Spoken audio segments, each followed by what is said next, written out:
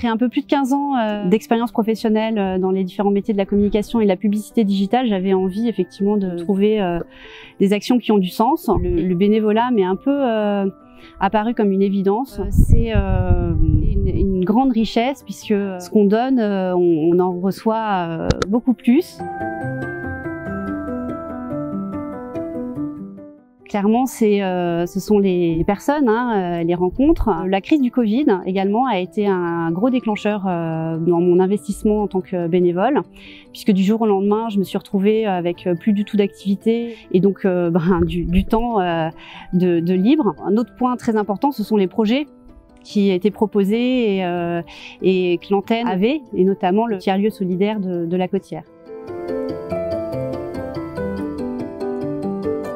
Missions sont, sont, très très variées. Il n'y a pas un, jour qui ressemble à un autre. Je vais euh, à la fois euh, soutenir euh, les équipes dans la coordination et l'organisation des différents événements. Donc c'est beaucoup d'événementiels. C'est bien entendu la communication plus institutionnelle. Elle m'a permis de, voir la communication euh, beaucoup plus largement que telle que je la connaissais à travers euh, mes expériences professionnelles. Elle m'apporte euh, du, sens, hein, encore une fois, donc j'ai l'impression de, je me sens utile et je, pense l'être pour le développement de l'association. Et ça, c'est effectivement une grande fierté pour moi et ma famille aussi, parce que mes enfants participent aussi pas mal aux activités. Et puis des, des belles rencontres, euh, des beaux moments euh, avec les équipes de bénévoles.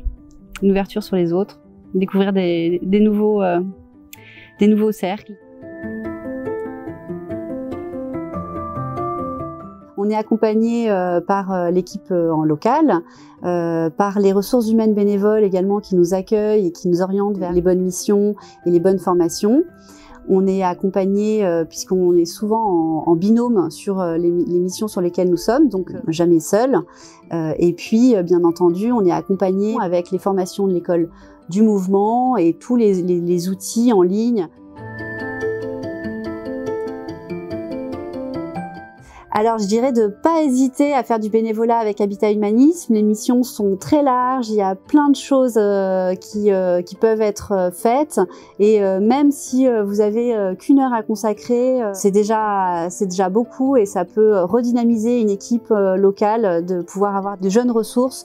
Donc n'hésitez pas, même si vous n'avez pas beaucoup de temps, à vous investir. Chaque journée à l'association a son lot de surprises.